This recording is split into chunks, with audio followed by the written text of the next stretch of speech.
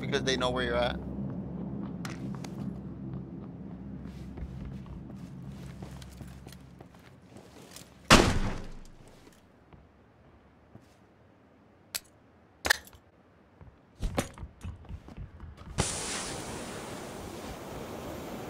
Oh man, wow.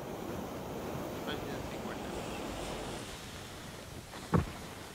Behind you,